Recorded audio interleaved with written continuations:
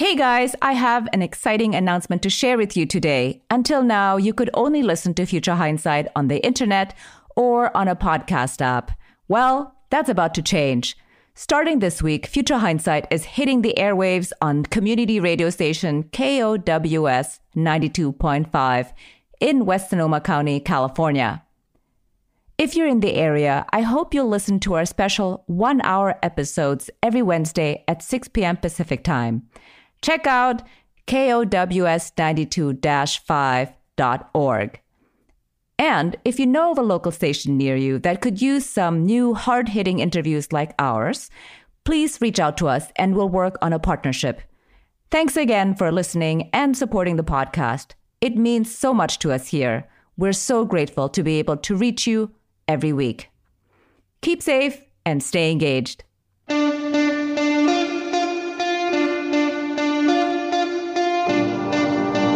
Welcome to Future Hindsight. I'm your host, Mila Atmos. Each week, I speak with citizen changemakers who spark civic engagement in our society. Our guest today is Alice Marwick. She's an assistant professor in the Department of Communication and faculty affiliate at the Center for Media Law and Policy at the University of North Carolina at Chapel Hill, as well as a faculty advisor to the Media Manipulation Project at the Data and Society Research Institute.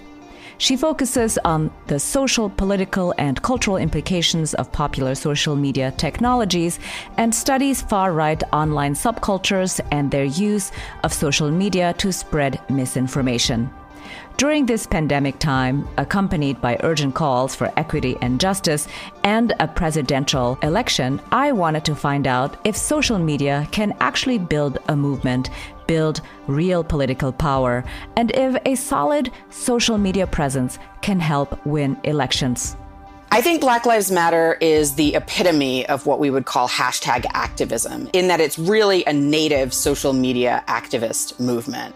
The movement started when trying to bring awareness to the deaths of black people and acts of police brutality that were not being covered by mainstream media.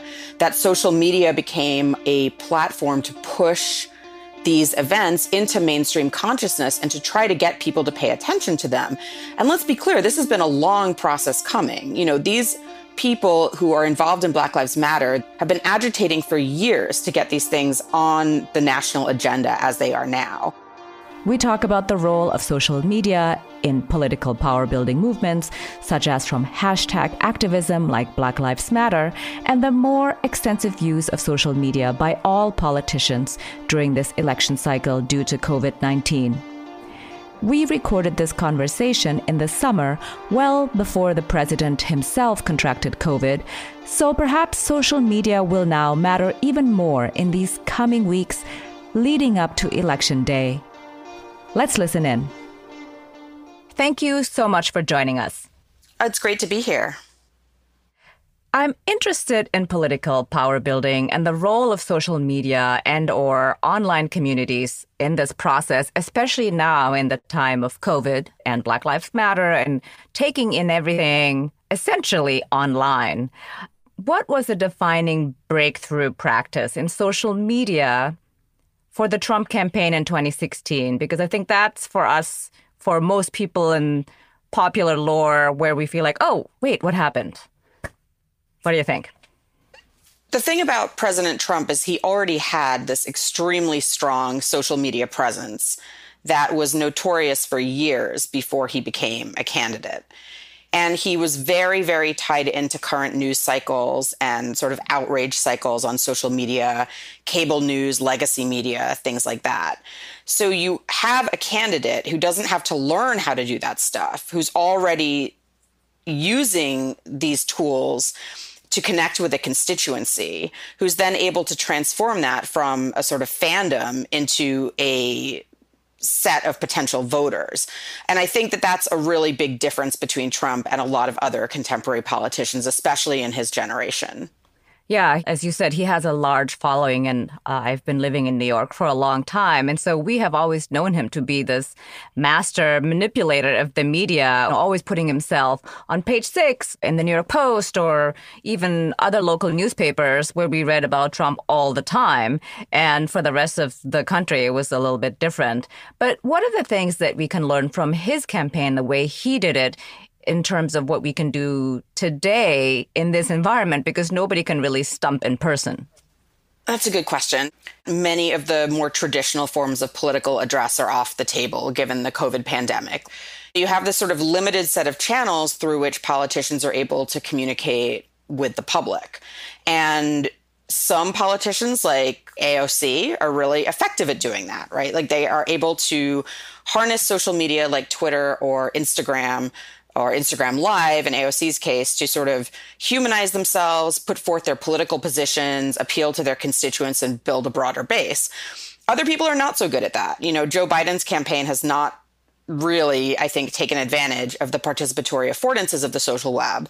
But on the other hand, some people might say that that prevents him from making the types of gaffes that he's historically made when doing these in person events. I think this really does favor incumbents and people who are known quantities. Whereas more traditionally, you have these sort of up and coming young politicians who'd be doing all this glad handling and kissing babies and whatnot just to kind of get their name out there. And that's not going to be possible. So the people who can do a good job of you know, creating catchy ads on YouTube or having a fun Twitter account or doing a good job of going on political podcasts or things like that. I think those are the ones who can get attention and sort of build a following for themselves, even without the in person political events that we've become accustomed to. I kind of want to go back to the work that you've done on the alt right, because I think they were instrumental in helping Trump get elected and sort of draw a parallel of maybe what's possible for Black Lives Matter right now. I heard on the radio yesterday that the defining difference between the civil rights movement of the 60s and demands for equity for Black lives now is that everybody's on social media and everybody can see what's happening as opposed to waiting for the newspaper. Do you think there is an opportunity for Black Lives Matter or police reform, you name it, right in this moment in terms of using social media to advance their cause? Absolutely. I think Black Lives Matter is the epitome of what we would call hashtag activism, in that it's really a native social media activist movement. The name of the movement, Black Lives Matter, is a hashtag. The movement started when trying to bring awareness to the deaths of black people and acts of police brutality that were not being covered by mainstream media. That social media became a platform to push these events into mainstream consciousness and to try to get people to pay attention to them. And let's be clear, this has been a long process coming. You know, these people who are involved in Black Lives Matter have been agitating for years to get these things on the national agenda as they are now. Right now, we're in a really interesting position because a great deal of people who are not those core original members or the core people who marched in like 2014 or 2015 are still showing a great deal of support for Black Lives Matter on social media. So there's these kind of low overhead actions that people can do. They can retweet a message about Black Lives Matter. They can change their profile picture on Facebook. They can post an Instagram story that shows their support for Black Lives Matter. And these might not be people who would go to a protest or who would necessarily donate money to a bail fund, but it creates this sort of sense of consensus and this idea of a very broad movement with a wide, wide social base. And so you can still consider yourself a supporter of Black Lives Matter, even if you're not doing what we would think of as traditional forms of political participation. And I think that's very advantageous because it shows how much grassroots support there really is for things like police reform, bail reform, changes in accountability laws for policing, things like that, that these really are issues that are not fringe issues. They're not far left issues. They're not just black issues. They're issues that do have a broad base of support. Making that visible is one of the great advantages of social media activism. What do you think is the sort of like the tipping point for how social media can bring a grassroots movement into the foreground? Like, what kind of traction does it need to get in order for people to be like, wait, that actually matters? We have to pay attention?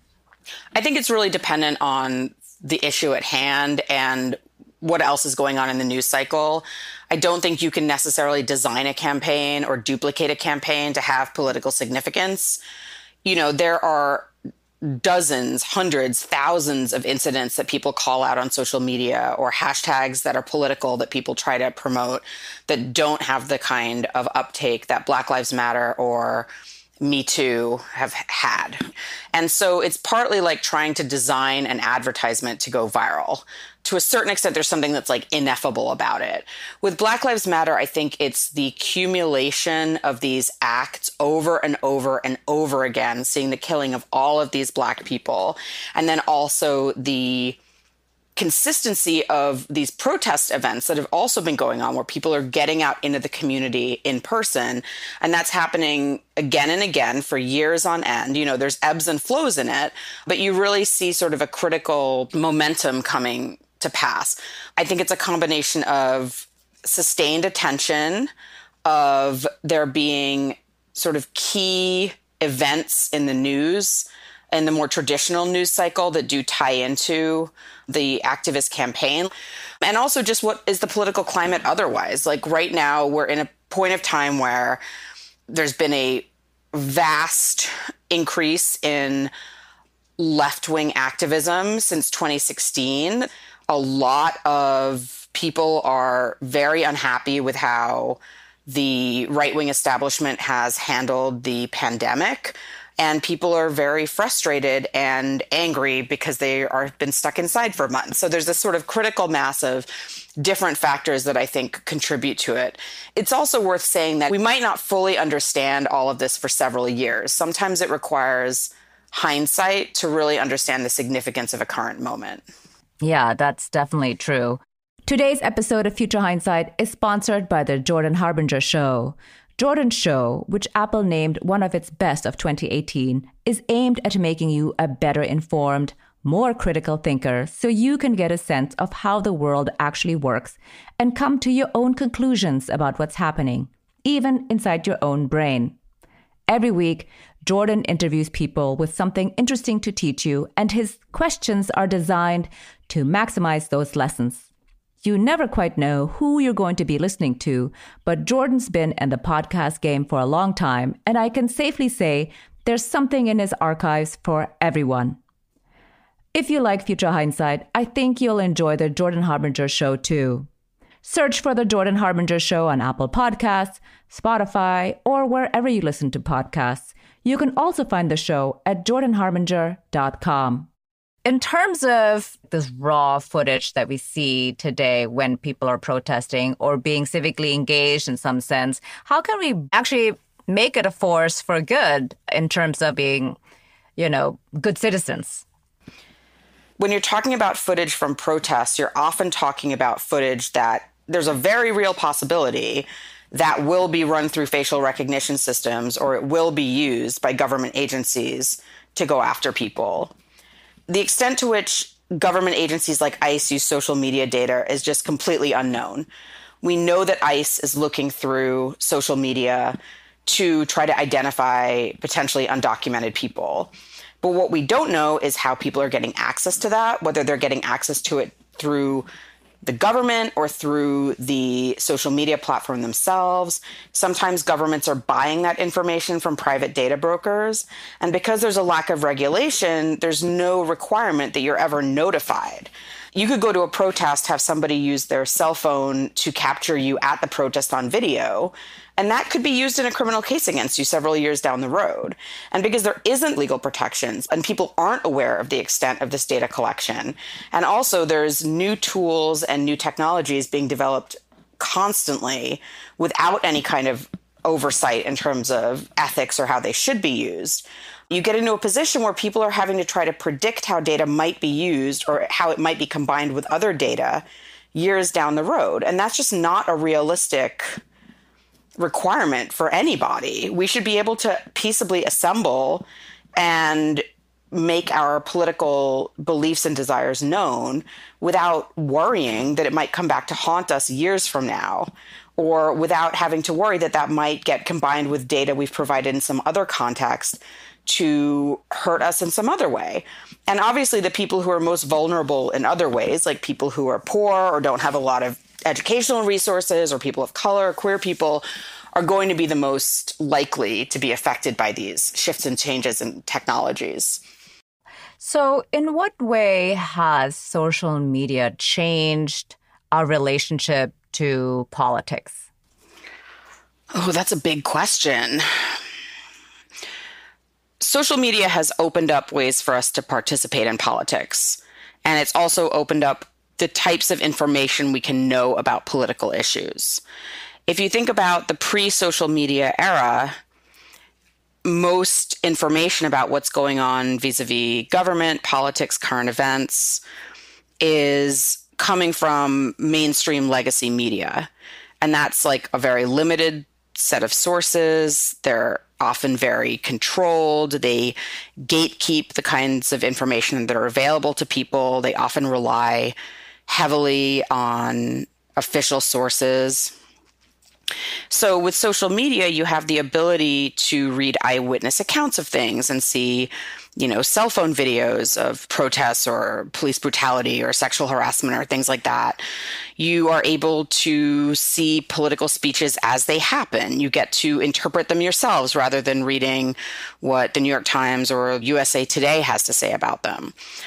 But at the same time, social media has allowed for an enormous amount of misinformation and disinformation and what we call hyperpartisan media, which is media that covers current events with a heavy ideologically biased spin.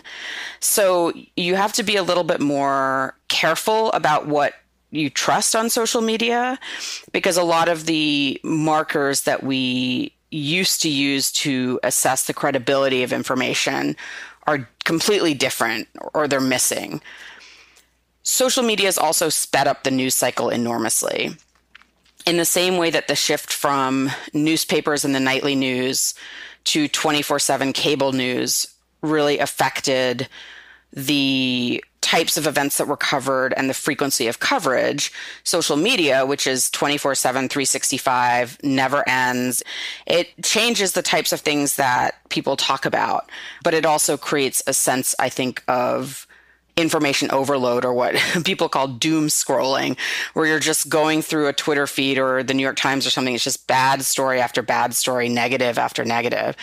So I think a lot of these things have really changed the way that we process information that's civic or political, as well as the types of things that we believe we can do about it you can use social media to voice your opinion, to participate in a hashtag campaign, to sign a petition, to connect with other people, to learn about political issues.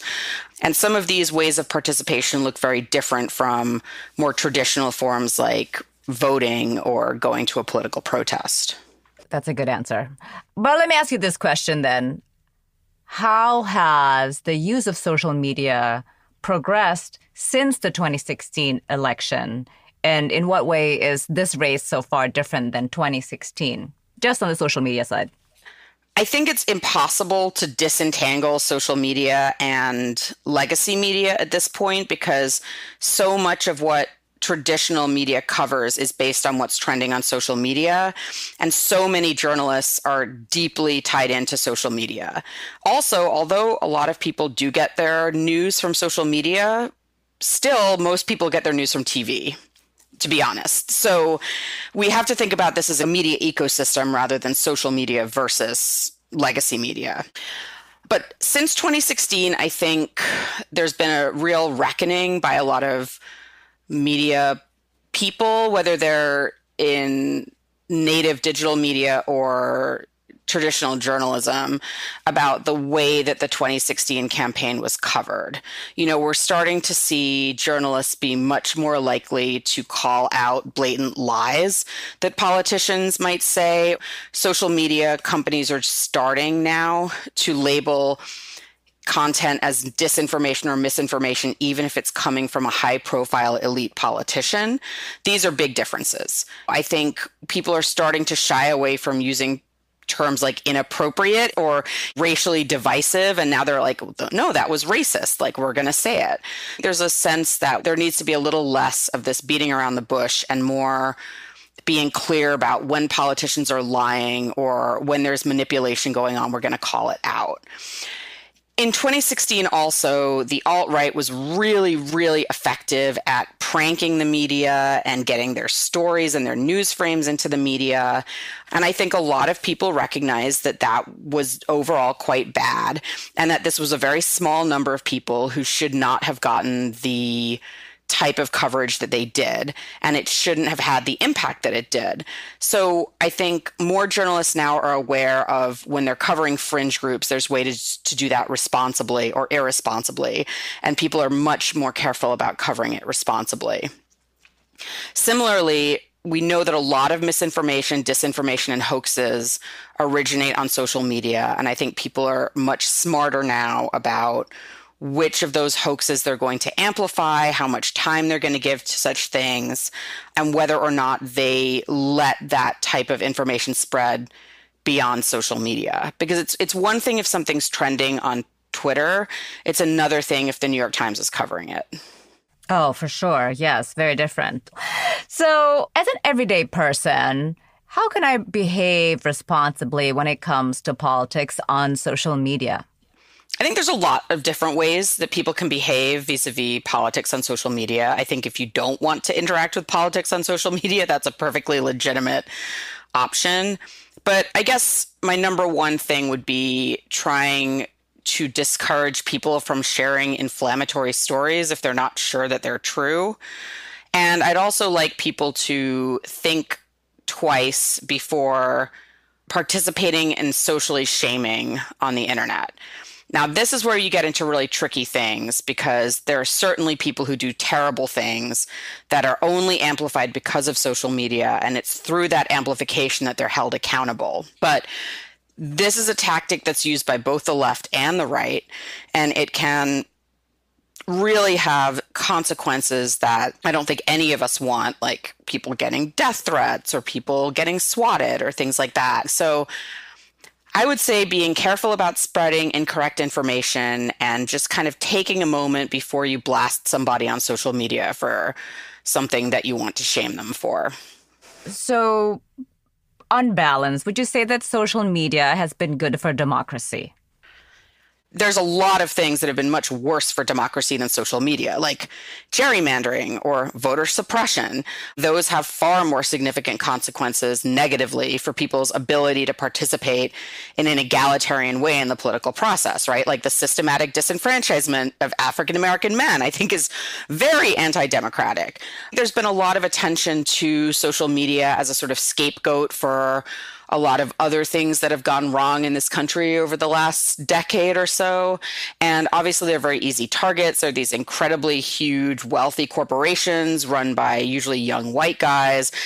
I'm by no means defending many of Facebook's terrible choices.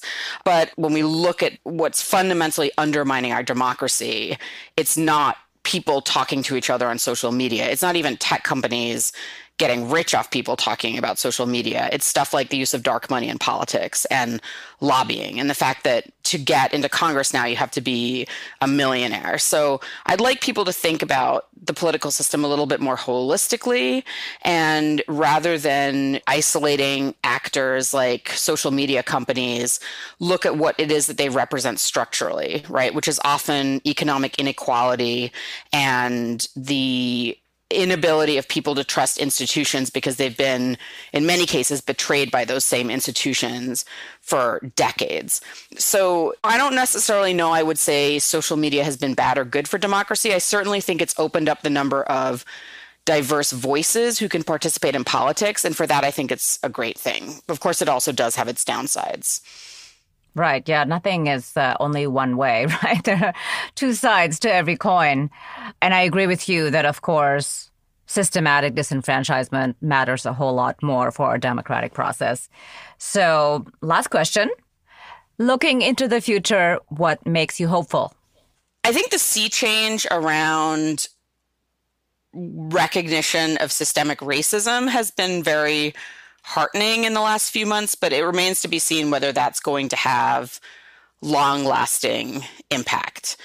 I like what I'm seeing from Gen Z kind of trolling on TikTok and things like that, trying to kind of mess things up and do their direct political actions like buying up tickets to the Trump rallies. You know, that's encouraging for the time being, but we'll see there's broad recognition of things that when I was growing up were really only articulated in like far left communities or in feminist communities or in queer communities, for example, that now there's much more wide recognition of their importance.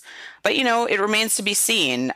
If you'd asked me in 2015 whether I would have seen 2020 this way, I would have been horrified to see what has happened this year. So, you know, it's hard to predict definitely we did not anticipate for this year to turn out this way. No, a pandemic, and yeah, that that was probably last on my uh, prediction card. Yeah. Right. Yes. Exactly. Well, thank you so much for your time. Thank you for being on Future Hindsight, and thank you for your scholarship. Oh, thanks for speaking with me today. I started this interview with the question of whether social media can build a political movement. The answer is definitely yes. Black Lives Matter is proof that social media activism works, though perhaps it doesn't work in the way we normally think of power building. The value of mainstreaming the recognition of systemic racism and revealing the widespread support for change is perhaps only truly quantifiable from a future vantage point. One caveat I would like to add here is that the accompanying protests in the streets and the footage of brutality against protesters have been instrumental in strengthening the cause. So it isn't purely social media alone. Still, the prevalent use of social media has changed our political discourse and the way we think about what's possible when we demand accountability and better governance. Next week, our guest is Nathan Stoltzfus. He's the Dorothy and Jonathan Rintels Professor of Holocaust Studies in the Arts and Sciences and Professor of History at Florida State University. He's also the author of Hitler's Compromises Coercion and Consensus in Nazi Germany fascism is so important for the 20th century because before then, dictators, autocrats had appealed usually to family legacy. But since the French Revolution, at least, the people expected to have a say in politics. This is why uh, Hitler is modern in that very important aspect that he wanted to include the people and be representing himself as presenting the will of the people. And this was not so important in previous autocracies. In fact, we can say that Hitler was one of the pioneers of the kinds of popular autocracies we see today in the 21st century. We talk about the role of legitimacy, popularity, and even protest in building, maintaining, and exerting political power. Until next time, stay engaged. I'm Mila Atmos. Thank you for continuing to listen to Future Hindsight. Our executive producer is Mila Atmos, the audio producer is Peter Fedak, and our associate producers are Miriam Zumbul and Brooke Sayan.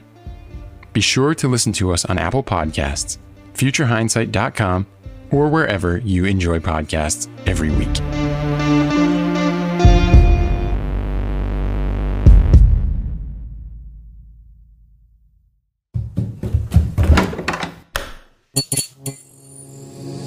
This podcast is part of the Democracy Group